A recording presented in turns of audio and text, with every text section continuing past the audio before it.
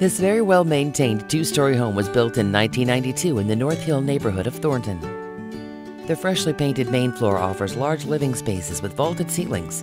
The large unfinished basement offers a lot of potential with high ceilings that's ready for you to finish to your liking. You'll be only a short walk to bike ride to the new station at 104th in Colorado. There's so much to see here. Learn more with your call to Jason Putnik.